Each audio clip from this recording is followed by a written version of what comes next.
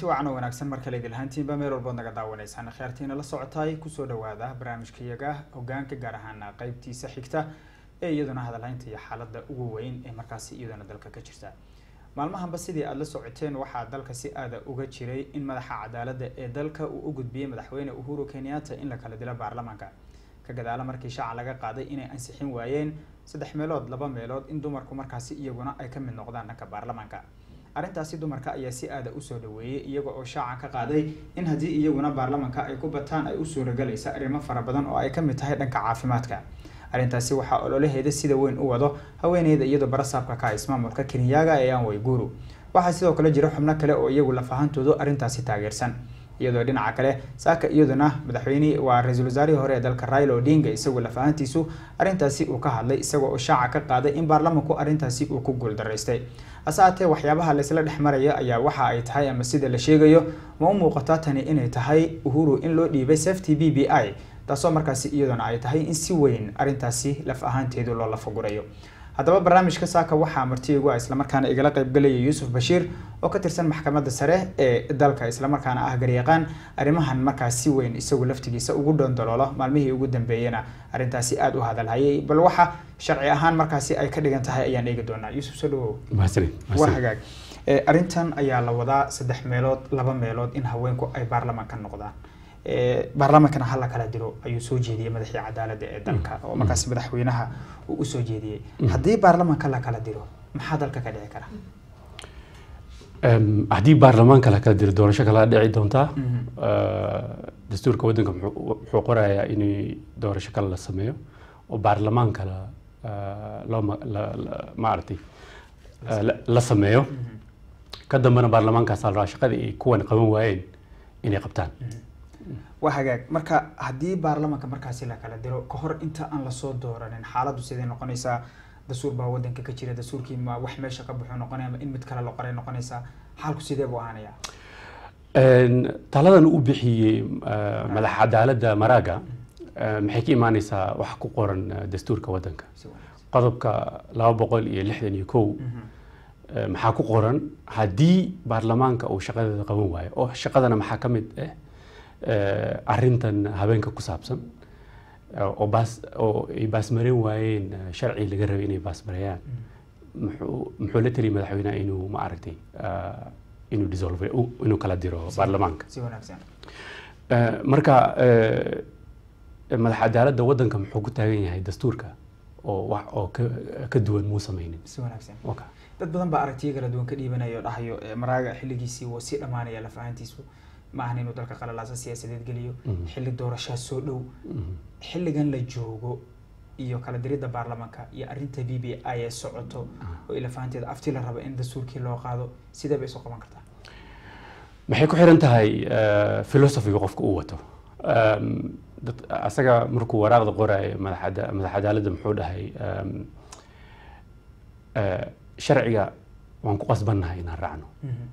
Haddii laga soo wareeyey toddoba sano oo baarlamaanka laga sugay arrintan inay dhameeyaan ay dhameyn waayeen. Markii dambena waraaq uu qoray baarlamaanka naftigeeda oo madaxdooda u qoray oo speakerga waraaq loo qoray ay ka soo jawaabi waayeen. Marka su'aal maxaa u taallaa dadweynaha waddanka? Markii dastuurkan la qoraayay ma iska qor buu ahaa ama maxay ahayd aan ku dhaqanaynaa wixii dhaco ha dhaco haddii haddii la fiiriyana asaga maraaga inuu shaqadiisa dhammaynayo oo sanadka cusuban uu tegi doono weli maxaa saaran mas'uuliyad? Intuu kursiga weli ku fadhiyo jagada ku fadhiyo. Maalinba ha ahaatee. Maalinba ha ahaatee. Inuu awooddiisa uu muujiyo oo uu dadka ku qasbo inay sharciga la raaco. Waa hagaag. Taa marka laga soo gudbo haweenku in ay helaan boqolkiiba konton ee kuraasta dhanka baarlamaanka maxay iyada u sahlaysaa? Dastuurkiisa muxuu ka qabaa. Dastuurka actually muxuu qorayaa boqolkiiba two thirds waxa la dhaha. Boqolkiiba saddex meelood laba meelood. inuu hal jinsiyad uu noqonin ma qoraayo konton konton arrintaasna maxkamadooyin fara badan baa ma aragtay ka laga laga dooday. Kasoo bilaamatay labaiyo tobankii two thousand and twelvekii oo la aaday eh, maxkamadda supreme courtka. Maxkamadda supreme court maxay dhaheen eh, arrintan eh, doorashada 2013 oo dhacday waad ogtahay doorashada ugu horeysa uhuru lagu soo doortay. Eh, inay saameynayso in kale. Su'aashaas laiska weydiinaya maxkamadda. Maxay dhahday arrintan doorashada ma saameynayso?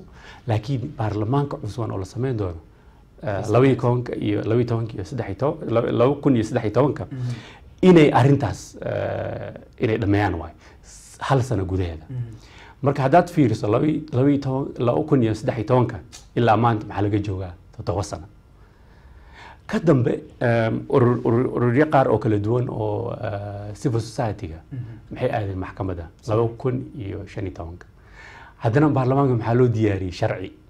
Oo maxaa sameeyey? Constitution implementation commission. Oo guddi loo eh, arrintaas u xil saarnaa. Guddigaas eh, muxuu u geeyey baarlamaanka biil inay baasmareen arrinta ku saabsan. Baarlamaanka waa lagu heshii waaye.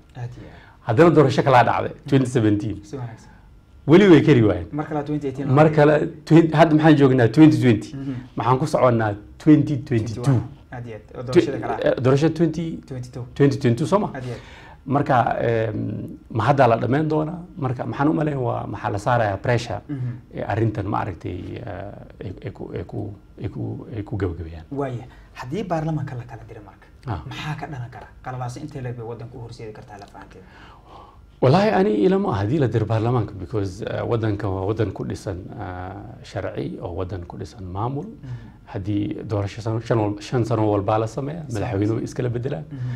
Marka anigu ma arki uh, baarlamaan la diraya inay qalalaas wadan ka dhacay. Marka fursad ma u siinaysaa raila odinga iyo xubnihii kale ee taageersanaya b b i? in iyagu laftigooda arintan ay kaga faaiideystaan marka laga hadlayo. Mhm. Wax ka bedelka dhanka dastuurka afti kaleo dastuurkii laftigiisa loo qaado mhm. baarlamaan cusub oo la soo dhiso doorasho mhm. kaloo wadankii loo dareeray iyadana. Wallahi way way suurtageli kartaa because um, uh, haddii uh, maraga markuu waraaqda u qoray uhuru oo talada uu siiyey dastuurka kuma qorno waktiga oo uhuru eh, la rabo inuu kala diro baarlamaanka. Asagay ku xiran tahay. Inuu aqbalay inuu inuu aqbalayn karo dad qaar maxay leeyihiin eh, markii arrintan la fiiriyo xagga sharciga oo maxkamadooyinka arrintan markay fiiriyeen maxay qoreen inay wax la dhahaa reasonable time. Waqti macquul ah. Waqti macquul ah. Dad qaar maxay u qaateen eh, lix bilood? Dad qaar maxay u qaateen saddex bilood? Qaar maxay u afartan beri so waa arrin oo fursad siinaysa uhuru oo fursaddaas uu u isticmaali karo eh, eh, olojidii siyaasadda. Waxaa ka mid a b b i u isticmaali karaa. Marka eh, way suurtoobi kartaa maxaana suurtoobi kartaa inuu beri kala diro. Marka marka maxaa meesha ka baxaya? Haddii xubnahan baarlamaanka la dilo sannadkii baa ka mid a eh, baarlamaankii kalaa ka mid a ajendayaal iyo sharciyo kalaa horyaala laftirkooda oo weli u baahan in la ansixiyo. Sharciyo kalaa la soo ansixiyo baarlamaanku u meelmariyey sharciyada hore maxay noqonayaan haddii baarlamaankan la kala diro kuwase la sugaya inay meel mariyaan laftirkooda oo horyaala hadda. Xaggee ku dambeyn doonaan wallaahi haddii arrintaa maxaa la arki doonaa markii la gaaro. Because maxay ku xiran tahay haddii weli hadda lama dirin oo resolution lama samayn madaxweynaha weli tilaabo muu qaadin. Eh, haddii la diro baarlamaanka doorasho kalaa dhici doontaa? Baarlamaan kalaa imaan doona oo shaqadii doorashadii meesha intii la gaarin baarlamaan ma jiro. Aha laakiin hadduu jirna baarlamaanka eh, eh, wad- wadanka dhib ma gaarayo oo ma aragtay. Eh, executive-ka weli u jiraa madaxweyne weli u dhisan oo dowladda weli hore u socotaa. Umana malaynaa inay inay saameyn weyn gaarsiin wadanka dad baa waxay qabaan aragtida in wadanka uu geli karo eh, nidaam military iyo waxyaaba lamida iyadoo hadda eedeymo fara badan madaxweynaha loo jeedinayo. Saaka sidoo kale wargeysyada waxyaabaha ku qoran ay ka mid yihiin in dhammaanba diyaaradaha booliska iyo laamaha kala duwan ay la wareegi doonaan militariga iyo waxyaaba lamida Mhm. arrimahaasoo dhan marka la fiiriyo miyaanay u muuqanin in madaxweynuhu laftigiisa uu ku sii dhawaanaya hanaan military in wadanka loo gacan geliyo aniga runtii uma malaynaya arrintan inay eh, haddii eh, olajeedadiisa marka hore ay ahayd inuu isku wareejiyo madaxtooye oo military eh, ku- saldhigan aad iyo ah, uu is- uu isku dayi lahaa. Wadankana dastuurkiisa aad buu xoog u leeyahay maxkamadooyinku way shaqaynayeen uma malaynaya inuu maaragtay ay fursad military inay noqon doonto arrintan daraadeed Um, i- aniga maxay la tahay hataa haddii baarlamaanka la diro dastuurka xooguu sii yeelanaya because maxaa arrin aada u culus yaa dhacday. oo dastuurta dastuurka waddanka yaa xoogeystay intii arrin siyaasi ama arrin arrin fudud oo arrinta la fududaysan lahaa ah, tilaabo adag baa la qaaday. Oka. waa hagaag mr. Yuusuf marka la fiiriyo dastuurka kenya wuu toban jirsaday dhowaan bishii agast aan ka soo gudubnay iyo toban sano jirsaday. Waxaa loo arkayay in wax badan dastuurku uu dadka siiyey oo ay ka mid ahayd daadejinta dhanka dowladda ama devolutionka mhm. waxa loo yaqaano aada loogu riyaaqsanaa. Mhm. Waxaa soo baxday dooda ah toban sano kadib mhm. isbeddel ha lagu sameeyo waxyaabaha laga bedelo waxyaabo kalena ha lagu cusbooneysiiye iyo waxyaabo la mid a ah. e, tobankaas sano dastuurka kenya ee uu soo socday faaiidooyinkii uu lahaa maxaa ka mid a ah, maxaase hoosu dhac dhaca ahaa oo la dhihi karaa waxay u baahnayd in marka horena laga baaraandooga dibna wax loogu daro. Wallaahi dastuurka waddanka waxyaalo farad badan buu ka bedelay xataa em, luqadda ingiriiska maxaa la isticmaalaa transformative nature. wax badan buu waddanka isbeddel ku sameeyey muxuu bedelayaa dhaqanka waddanka muxuu bedelayaa dhaqanka siyaasadda oo waddanka ka socdo muxuu bedelayaa dhaqaalaha muxuu bedelayaa discrimination. iyo ah Had iyo- dadka maaragtay haddii madaxweynaha hada uu wadanka ku fadhiyo kursiga inaad adiga faa'iidada wadanka oo dhan aada la wareegeyso xagga dhaqaalaha iyo xagga siyaasadda. Eh, een, tilaabadu eh, ma aragtay oo laga faa'iidaystana maxaa ka mid ah devolutionka. Eh, xuquuqda aadamahana aada buu u xoo- xoogeysiyey wadanka maxkamadooyinka aad bay xoog ugu yeesheen oo maxay noqotay meel oo maaragtay madaxweynaha lala doodi karo? Eh, eh, xagga haddii la fiiriyo eh, mediaga maxaa la siiyey awood weyn Mhm. oo cabsidii faraha badneed oo haddii aad ka hadasho arrin oo maaragtay eh, eh, dowladda wax ka sheegayso oo ku qusayso madax- madaxweynaha inaad ka cabsoonaysa in lagu xiro. Mhm. tii way dhammaatay. Marka eh, aniga guul weyn baan gaarnaan umale haddii hataa hadda aan fiirino shacab soomaaliyeed oo wadanka ku nool cabsidii faraha badan aan qabnay wuu yaraaday. Devolutionka muxuu keenay horumar sidii laga rabay ma aha laakiin horumar eh, oo ah. marka hore aan jirin aad baa ka dhacay dalkii eh, you know, north eastern garis wajeer iyo meelahaas marka eh, maxaan u malayn tilaabooyin iyo faa'iidooyin fara badan baa dastuurkan laga gaaray. Eh, dastuurkana ma aha dastuur oo ma aragtay kaamilsan oo perfect ma aha. Because waa, ma aha kitaab quraan oo wax dad u qortay. Eh, isbeddel in la bedelo way imaan doontaa aniga maxay la tahay in intii la bedelin? Ha dhaco wada hadal eh, oo dhammaystiran oo laga fiirsanayo la bedelkaas. Ah, because siya- siyaasiga wadanka waxyaalo qaar baa lagu aqaana oo siyaasi adduunka oo dhan waa lagu aqaana inay ma aragtay haddii ay awood u leeyihiin oo haddii ay ay leeyihiin ma aragtay ah, hadaf oo siyaasadeed inay fiirinin eh, mustaqbalka wadanka maxay arrintan bedelka u saameyn lahayd? Ah, dastuurkanna muxuu xo- muxuu xoog siinayaa shacabka wadanka muwaadiniinta wadanka inay ma aragtay fiirsadaan oo ma aragtay ay awooddooda ay muujiyaan. Marka saasay la tahay. Waa hagaag. Marka waxyaabihii dastuurkan uu ku liitay tobankaa sano oo la isdhihi karo muxuu u baahnaa ama waa lagu dari karay ama hadday maanta taagan tahay in lagu daro? Maxaa ka mid ood isleedahay muhiim bay u tahay? dadka maxaa maxaa ka mid ah eh, lacagta la siinaayo eh, dowladaha countiga oo arrintaas arrin oo dowladda weyn ay ka faa'iidaysatay dowladda dhexe. Ay ka faa'iidaysatay inay ma aragtay arrintaas ay eh, cunaqabateen ahaan ay ku samayso dowladayaasha countiga Em, eh, arrintaas maxay u baahan tahay inay ma aragtay la habeeyo? Eh, percentageka la siinaayana countiga aniga maxay la tahay eh, sidii ahaan inay ma aragtay loo badiyo?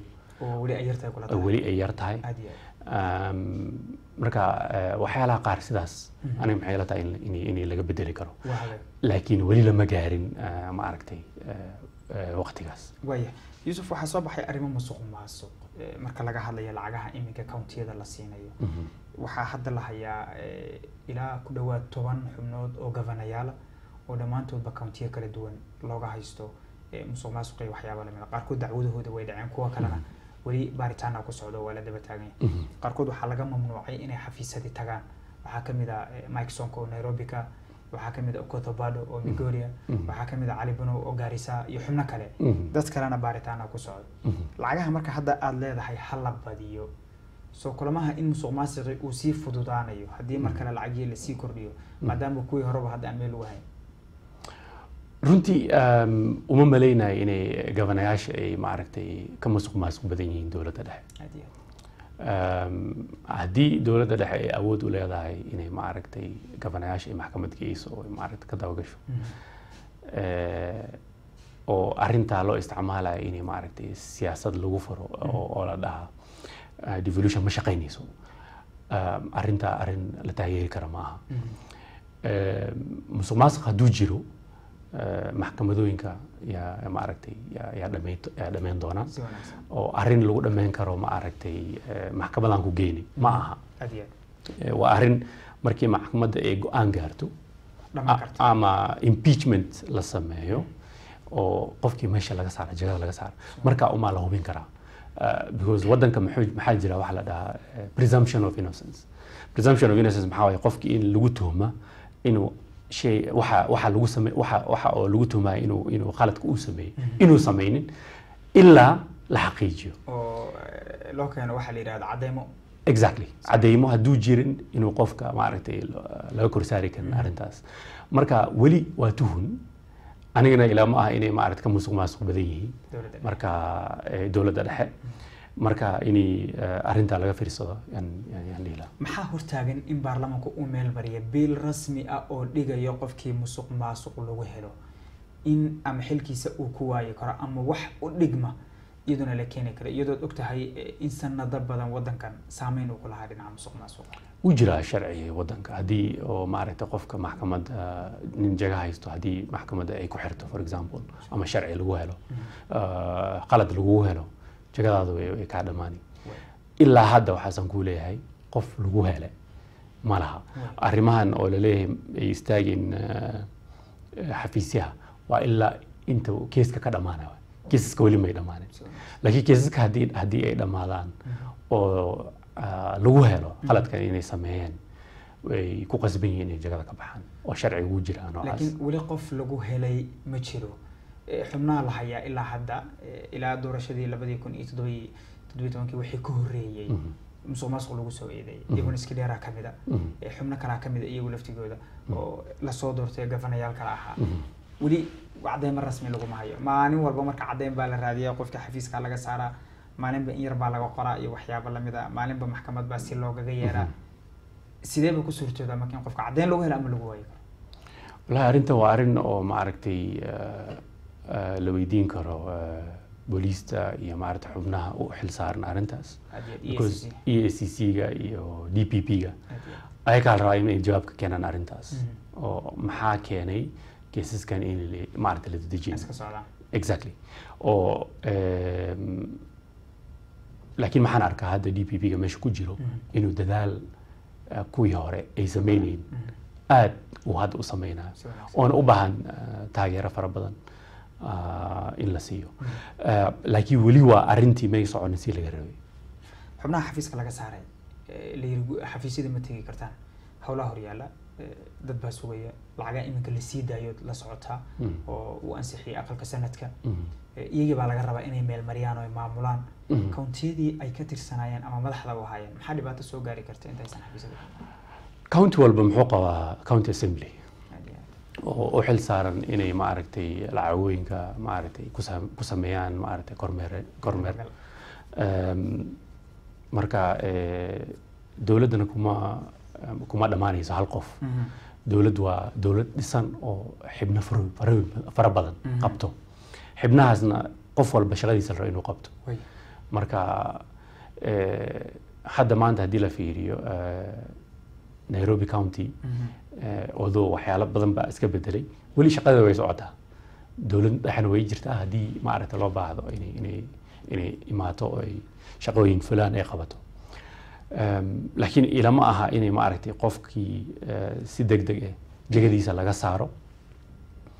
Em, oo maaragtay tuhun yar intii lagu soo lagu soo abaabulo laga saaro meesha laga saaro. Waka waa hagaag waxaad ka shanqarisay ismaamulka nairobi oo kale waxaa loo dhiibay generaal maxamed baadi maalin dhaweeto wuxuu fariistay shirkii golaha wasiirada oo Ah. madaxweyne uhuru kenyatta uu ku casuumay Mhm. qareeno badan yaa siyaabo kala duwan uga hadlay oo dalkan qareemada ugu waaweyn ka mid a Mhm. Eh, qaarkood waxa ay sheegeen in Mhm. arrinkan arrin dhanka dastuurka iyo sharciyan wadanka u wanaagsan aysan ahayn iyo waxyaabo lamida Mhm. qaarkood waxay sheegeen inuu yahay wasiir qarsoon iyo waxyaabo kale qaarkood siyaabo kale u arkeen arrintaa iyada maxay kula muuqataa? Wallaahi waa arrin uh, u baahan in maaragtay laga fiirsado. Because uh, dhaqanka wadanka dastuurka iyo maaragtay wadanka um, culturegiisa suu u dhisan yahay. Ma aha uh, culture oo militariga soo dhexgala arrimaha uh, maaragtay aad militariga wadanka waa waa aad baa loo xishmeeyaa. Ma soo dhexgalaan arrimaha noocaas. Mhm. Marka waa isbeddel oo maaragtay cusuban oo- oona arki doono meeshuu meeshuu ka dhici doono. Ah, inay maaragtay faa'iido laga gaari doono iyo maaragtay ah, uu dhib kale ugu saameyn doono wadanka Mhm. waa la arki doonaa. Ah, because militariga systemkay ku shaqeeyaan waa system ka duwan systemka wadanka iyo system dimuqraati marka waa arrin ah, u baahan in laga fiirso arrin wadahadal dheer u baahan. Mhm. Ah, aan- waan sugi doonaa insha allah waxaad la socotaa in madaxweynaha iyo madaxweyne ku-xigeenku ay kala taagan yihiin. Eh, wada shaqayntii looga bartay tan iyo labadii kun iyo saddex iyo tobankiina Mhm. ay meesha ka maqan tahay oo madaxweynuhu madaxweyne ku-xigeenkuna hadda iska aamusay oo arrintiisii oo la gaabsaday. Arrintaa iyada xagee bay kula muuqataa inay ku biyo shubanayso Wadankan siyaasaddiisa shan sano kadib. Mhm. maxaa dhaca Doorasho. doorashooyinkaasna maxaa ka dhaca group cusubna maa soo baxa. Mhm. iyo eh, line-up Si kala duwan. Mhm. marka eh, line-up cusub maa soo bixi doonaa? 2022 intii la gaari Eh, madaxweynaha line-upkiisu geli doonaa? Aad. madaxweyne ku-xigeenka line-upkiisu geli inay isku line-up noqdaan waa laga aad marka waa wax cusuban ma aha Mhm.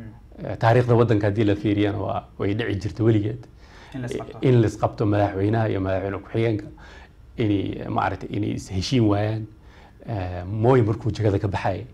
2002 aad iyo aad. kuma wareejin madaxweyne ku-xigeenkiisa wuu ka wareegsaday uhuru soo magacaabay oo marka hore oo la garanayn Mhm. nin la dhahaa madax eh, madaxweyne ku-xigeenka nin dhintay hadda oo saytotin buu ahaa. Ka sii horena mooy iyo kibaki way issii qabsadeen. Marka arrin wadanka ku cusban ma aha. Kibaki markuu soo galana asaga raila oo maaragtay wada shaqeynaya way kala bood. Marka waa arrin iska soo jirto. Haddana jiri doonto hadda ka dambe. Waad mahadsan tahay yuusuf aan dib ugu laabano arrinta iminka baarlamaanka lagaga hadlaya in la kala dirayo waxyaabo la mid ah. Haddii haweenku ay helaan two third waxaa la leeyahay ama saddex meelood laba meelood ay helaan. Maxay iyagu u soo kordhinaysaa ayaga maxay u kordhinaysaa arrimahooda iyo maaragtay eh, eh, maxay- maxaa ke- maxaa keenaya arrintaas? Su'aasha waa taas. Em, arrintaa maxaa keentaa eh, maxaa keentay inay maaragtay haweenka wadanka la siinaynin nafaas ay maaragtay madax ku noqdaan? Eh, taasna waa arrin dhaqameed oo for example soomaalida hadda weligood may dooranin eh, northeastern haween maxaa ugu wareegsay doorashada hadda laga soo wareegay 2017 Seven. 2017 oo la doortay eh, safiya. Oo ijaara ka oo soo ijaara ka soo gashay. Yaa ugu horeysay taariikhda eh, wadanka oo dhan. Marka waa arrin haweenkii ay maarata aad iyo aad uga soo maarata uga soo dadaaleen uga soo dagaaleen. Eh, maxayna samaynaysaa inay shacabka wadanka inay fahmaan isbeddel inay fahmaan isbeddel loo baahan yahay oo haweenka in la siiyo maaragtay jaga oo aniga si ay la tahay arrin aada muhiim u tahay inay haweenka marba haddii wax la baray in la siiyo nafaas ay maaragtay madax ku noqdaan ay ka talin karaan arrimahooda si uga duwan ragga ay uga talin lahaayeen oo hataa la dhahay marmar maaragtay xagga markii la feeriyey research la dhahay haweenkii inay ka musuq maasuq yar yihiin ragga Mhm. Eh, oo caddeen umaliyay arrintaas. Laakiin inay inay la yeelo. marka inay nafaas la siiyo waa muhiim zaid. Waayahay haddii marka arrintaa ay dhacdo yusuf waxaa jirto isweydiin aada u weyn oo dadku ay isweydiinaan tusaale aan ka soo qaadna noodiisan oo kale. Haddii intaasoo sano waddankan baarlamankiisa la soo dooranaya mar keliya ay haweeney soo gashay kursiga keliya ee la ogyahay in haweenku ay leeyihiinna uu yahay midkaan la yidhaahda women rep ama qofka haweenka matala uu yahay.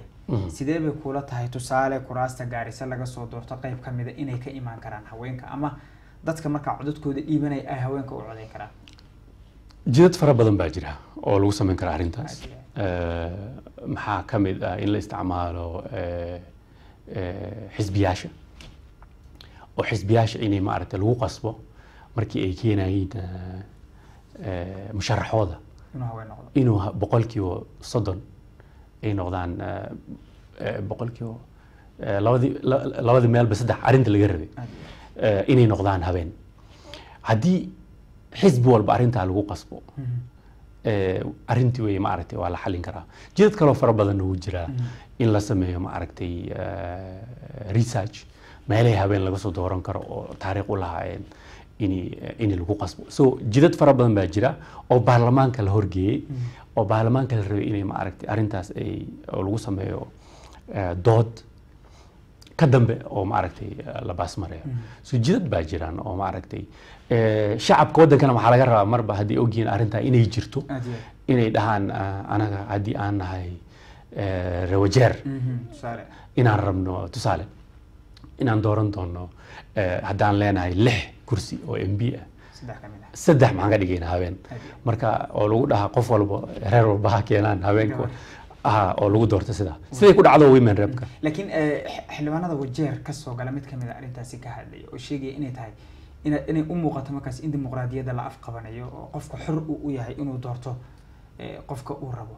Haddii marka la isbarbar dhiga haween iyo ragna qofka haddii rag loo codeeyo qofka xorriyaddiisu ay tahay runtii haddii oo arrintan ay ku qoran tahay dastuurka waddanka oo dastuur laga soo hadlay oo laga soo tashaday intaasoo sano oo soo maray process dheer fikir qof kuma bedelayo inay dimuqraadi ay noqoto in kale. Oo dastuurka waddanka waa wuxuu waddanka ku dhisan yahay. Arrintan waa arrin oo maaragtay dimuqraadi maaragtay haddii la sii fiiriyo sii xoojinayso. Because haddii oo maaragtay jinsiya waddanka ka mid ah oo maaragtay lagu sameynayo cadaadis iyo maaragtay hoos loo fiirinayo arrin dimuqraadi ma aha. In jaga la siiyana waa ku jirtaa dastuurka waddanka. Marka ma aha oo cunaqabateen lagu sameynayo dimuqraadi oo maaragtay hadda haddii la fiiriyo markii la sameynayo doorashada madaxweynaha maxaa jira qualification laga rabo qofka? Ma la dhihi karaa haddii aan qabin ma aragtay qualificationkaas haddii la isiinayn oo awood aan u lahayn inaan u istaago madaxweynaha. Dimuqraadiga wax loo dhima maya waddanka waa la sameyn karaa waxaa la dhaha requirements. Dimuqraadiyana waxaan uma dhamayso. Waa hagaag. Haddii marka arrintan ay dhacdo in haweenku ay soo galaan waxyaabaha ay ku doodayaan waxaa ka mid ah arrimaha caafimaadka oo kale inay dhibaatooyinka wajahayaan ee dhinaca dumarka ayna sabab u tahay arrinta iminka ay ugu ololeynayaan kala diridda dhanka baarlamaanka iyo waxyaabaha lamidka arrimahan dastuurka horyaallo caafimaadka uu ka mid yahay saameynta dumarka ay ka mid tahay in wax loo qabta ay ka mid tahay miyaanu raggu dhammayn karin? Way dhammayn karaan. Iskuma haysta inay dhammayn karaan. Way dhammayn waayeen waay. Oo fursaddii la sii way kari waayeen. Waxaase dastuurka loo keenay oo waddanka muxuu yahay xornimo waddanka muxuu haystaa? Konton sano. Oo dastuurka loo keenay tobanka sano hadda la soo mooday. Marka nafaaska way soo way soo haysteen intaasoo sano. Oo rag baa waddanka ka talinaya oo arrintan waa la xalin waay waa hagaag marka isbeddelka dastuurka marka ma waxay noqonaysaa in afti loo dareero? Haddii baarlamaanka la kala diro ma waxay noqonaysaa in dastuurkii mid cusub hala qoro la yidhaahdo waxay noqonaysaa in waxaa la yidhaahda asagee dastuurka ha jira halkiisa ha yaalo laakiin doorasho iyo baarlamaan keliya ha yimaadeen ay noqoto ha waa sidaas waa sidaas. Baarlamaanku ma la diri doonaa dastuurka weligiis ma dhaqaajinayo ilaa oo ilaa na bedelaa bedelka dastuurkana muxuu imaani in la sameeyo waxaa la dhaha referendum. Oo qeyb qaar. qeyb qaar in lagu sameeyo referendum. Qeybya qaarna la bedeli karo haddii baarlamaanka ay maarata ay haystaan cadad laga rabay laakiin referendum la'aan dastuurka lama lama bedeli karo. Haddii madaxweynaha tago hadduu baarlamaanka maaragtay eh, la diro waa meeshiisu yaali waayahay waxaa socota arrin ku aadan d b i oo raila odinga iyo madaxweynuhuba ay isku log yihiin oo isla wadaan. Wixii ka dambeeyay gacan qaadkii ay sameeyeen Mhm. labada mas'uul. Ah. Eh, xubno ka tirsan baarlamaanka yaa la rabaa in la horgeeyo lafahantiisu ansixiyaan in afti loo qaado Mhm. haddii baarlamaanka laftirkiisii la kala diro Mm. ciddii ansixinaysa in b b i afti loo qaado markaas qofna b b i ma soconayso ilaa baarlamaan cusub la keeno haddii baarlamaankan uu la kala diro eh, b b i ilaa baarlamaanka cusub la keeno Mhm. ma horey uma soconayso Mm. siyaasadda madaxweynaha markaad eegto Mm. eh, siyaasadda raila odingana aad eegto Eh, wargeysyadu sida saaka ay qorayaan waxaa le raila odinga weligiiba wuxuu u ololayn jiray sharcigan dumarka ku aadan Mm. Haddii marka kala diridda ay ku soo aada arrintan socotay b b i xaggay ugu dambeynaysa b b i baarlamaanka cusub lagu dayi doonaa. Waay wax ka sokeeya ma laha Ah. waayahay ugu dambeyn marka yuusuf xaaladda guud ee waddanka markaad qiimayso xaggee bay kugula socotaa? Wallaahi arrimo qaar oo ma aragtay keenayo waswaas baa jira oo ku saabsan for example arrinta musuq maasuqa sidii loo isticmaalay lacagtii covid waa arrin oo ma aragtay keenaysa walwal Um, um, arrinta loo soo magacaabay maxamed baari nairobi walwal bay keenaysaa oo arrintan la baasmareen waayo oo ma aragtay two thirdka oo ma- madaxa cadaaladda waddanka uu waraaq qorayo in baarlamaanka la kala diro waa arrin ma aragtay tusayso inay baarlamaanka shaqadeeda u qaban waysay. Marka arrimo noocaas baa jiraan. Oo u baahan in laga fiirsado. Wa- waxyaalaha qaar waddanka saameyn weyn u gaarsiiyeen waa covid ka mid ah. Ma aragtay dhaqaalaha waddanka hoos u dhigay. Mhm. um, una baahan uh, in aad shaqo loo qabto oo baarlamaanka la rabo inuu maaragtay baas mareeyo. Uh, waxaa la dhahaa economic stimulus package. Oo wadanka for example boqolkiiba you know, uh, toddobaatan Mhm. uh, wadanka. Waa sabool oo awood ma haystaan uh, shaqooyinkoodana badi waa laga tiray. Rafaad bay dadka soo mareen oo u baahan gargaar wadanka ka socdo. Ah, musuq maasuqa ka dhacana lacagtaas aad bay waswaas u keenaysaa oo u baahan in maaragtay maaragtay tallaabooyin xoog leh laga qaado. Eh, waana arkay maaragtay d p p-ga nurdiin xaaji inuu already tallaabo ka qaadi doono oo eh, u baahan in maaragtay ah, eh, waddanka dhaqaalihiisa kor loo soo qaado oo dadweynaha la siiyo awood shaqooyin maxaana ka mid ah in countiyaasha dhaqaalahooda lagu kordhiyo? Because countiga dadka u dhow oo maaragtay agtooda ah in shaqooyinka dadka la qoro oo maaragtay waxyaalo fara badan laga shaqeeyo. Saasay ila taani. Waad mahadsan tahay yuusuf. Xaggaa markaan ka soo gudubnoon bal xaggaa siyaasadda inaan kaas karigno Eh, waxaa tahay qareen u shaqeeya dad fara badan oo soomaali ah oo dacwado iyo waxyaaba lamida iyagu laftigooda. Mhm. eh, mararka qaar ay soo hoosgalaan dacwadaha aad qaadaan maxaa ugu badan? Sideed uga shaqaysaan dadka maxaa idin suuroobo? Maxaa caqabado idinka hor yimaado? Wallaahi dacwadooyinka hata way yaraadeen markii covid oo maaragtay u dilaacay. Oo waddanka yimid. oo adduunka oo dhan ka dilaacay. Because um, shaqadeena maxay ku xiran tahay dhaqaalaha waddanka dhaqaalaha soomaalida oo maaragtay shacabka soomaalida kama duwno dhaqaalaha waddanka way isku xiran yihiin. Ah, dhaqaalaha hoos u dhacay eh, shaqooyinka way yaraadeen hataa loo yariinta way maaragtay way calacalayn. Marka eh, hoos bay u dhacday. Waxaasaan u leeyahay maxay u baahan tahay? Dowladda inay maaragtay qayb weyn arrintan ka qaadato ay maaragtay ay- ay sidai ugu degdeg badan tallaabooyin laga qaado. Mhm. Okay. waa hagaag taa marka laga soo tago dad badan waxaa jira ganacsiyada soomaaliya. Hanti fara badan oo waddankan ku leh haddana aan qareena lahayn. Mhm. oo qof keligii iska socda. Ah Mhm. maalintii ay wax soo gaaraanna raadiya qof markaa u dacwoon kara iyo waxyaaba la mid Mhm, mhm. dadka sidaas oo kale maxaa talahan siina wallaahi hadda eh, looyarin fara badan oo soomaaliya zamaan looyarin soomaali ma jirin. Aaday u yaraayeen oo eh, hadda waa waa la wax bartay fara badan oo soomaali baa jiraan. Marka waxaan la talin lahaa mar haddaad tahay nin ah, ganacsi ku jira intii maaragtay lagu soo faragelin ama intii maaragtay aad ah, ah, aad qaadanin maaragtay go'aan adiga wax ku saameynaya Mhm. Eh, la tasho lawyer. Dantaada maaragtay wax may kuu faa'iiday ma ogi waxbana kaama dhimayso marka maxaan la talin lahaa marba haddaa becsharo ku jirto mar haddaa ganacsi aad tahay marba haddaa maaragtay aad aad samayn rabto go'aan aad gaari rabto la tasho. Qof aad aaminayso oo lawyer eh soomaalidan way jiraan. Haddii hadda aad soomaalida aaminayn lawyeriin fara badan oo maaragtay waddanka joogaan baa jiraan. Ayaka u tag. Waa faa'iido maa ka gaari doonta soomaalida iyo sharciga markaad fiirisa marka dad badan baa aaminsan in dadka soomaalida sharciga dad u adag aysan ahayn dad aada ugu hogaansan aysan ahayn dad siyaabo kala duwan oo arka ay yihiin. Mhm. soomaalida iyo sharciga markaad qiimeysa adoo aada ugu dhex jira weliba dacwado badanna ay ku yimaadeen. Mhm. Eh, dad badanna eh, wax u qabtay kuwana eh, aad kulley isfahmi wadeen sidee bay kula muuqata sharciga? Sidee dadku u fahamsan walaahi soomaalida u maleyna inay ka duwan yihiin kenyaanka kale. Ah, oo soomaalida dhaqankooda hadda wadanka joogaan Mm. ma ka duwano kenyaanka kale. Oo haddii kenyaanka kale ay maaragtay sharciga ay ku ad adag yihiin oo ay raacaan soomaalidana way raacaan. Haddii wadanka kenyaankana ma aragtay aysan raacin. soomaalidana ma raacaan. Marka wax hadda ay ga duwan yihiin Mhm.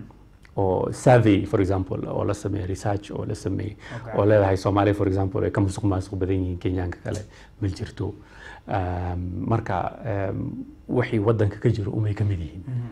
Uh, sidaas ila tahay. Dacwadihiina maxaa ugu badan? Marka la idiin keeno inta badan dadku ay kala xajoonayaan walahi soomaalida way ku yaryihiin dacwadooyinka haddii la fiiriyo runtii. Mhm. Uh, because arrimahooda maxay ku maxay ku uh, maslaxa iyo odayaal iyo wadaada iyo dad fara badan baa ku jira. Um, oo oo arrimahooda u dhameeya haddii la fiiriyo xagga dhankaas soomaalida sidii maaragtay eh, eh, shacabka kenya oo maarata qabiilaha kale ma ah oo way ka dacwo yaryihiin oo maarata arrimaha maxaa lagu dhameeyaa.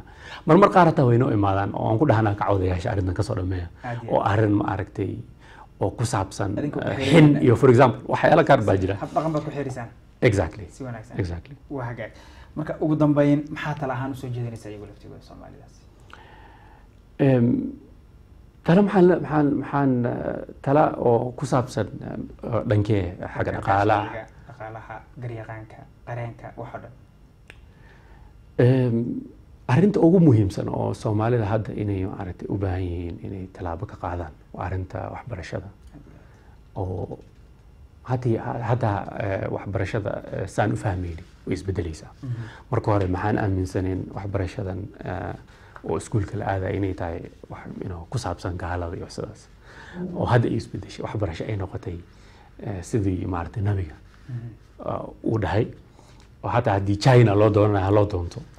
Ma fahantay oo aan ku dadaalno waxbarashada ragga iyo haweenka hataa haddii qofku uu yahay konton sano Mhm. inuu jaamacad galo.